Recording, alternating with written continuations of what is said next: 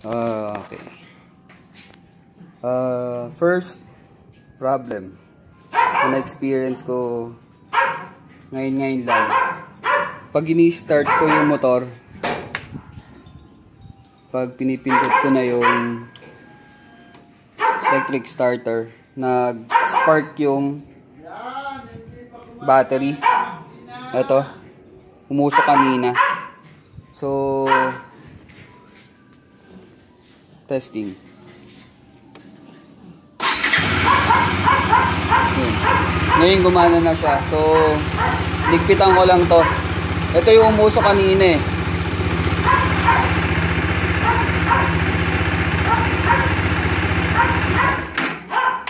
Kung wala kayo nung screwdriver, galaw-galawin nyo lang. Ayan, maluwag siya eh. So, galaw-galawin nyo lang na yung mahigpit. Siguro yung contact dito, lumuwag lang kagabi. So, yun lang. See you guys on the road.